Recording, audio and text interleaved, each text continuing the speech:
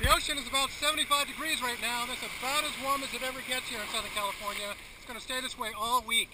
Big pool of warm water, big pool of warm air. It's going to last that way into the weekend, and something may be on the horizon. It looks like yet another tropical storm is brewing. This one will be called Odile.